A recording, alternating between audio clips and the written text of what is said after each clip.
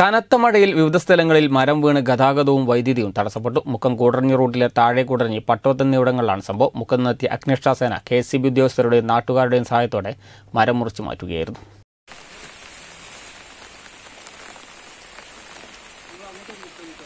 വ്യാഴാഴ്ച രാവിലെ മുതൽ തുടങ്ങിയ കനത്ത മഴയെ തുടർന്നാണ് റോഡരികിലെ പ്ലാവ് മറ്റൊരു മരത്തിനു മുകളിലൂടെ ഹൈടെൻഷൻ ഇലക്ട്രിക് ലൈനിനു മീതെ വീണ് ഗതാഗതം പൂർണമായും തടസ്സപ്പെട്ടത്.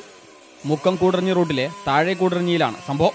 വിവരമറിഞ്ഞ് മുക്കത്തിനെത്തിയ അഗ്നിരക്ഷാസേന കെ സി ബി ഉദ്യോഗസ്ഥരുടെയും നാട്ടുകാരുടെയും സഹായത്തോടെ ഒരു മണിക്കൂറോളം നേരത്തെ പരിശ്രമത്തിനൊടുവിലാണ് മരം മുറിച്ചു മാറ്റി ഗതാഗതം പുനഃസ്ഥാപിച്ചത്.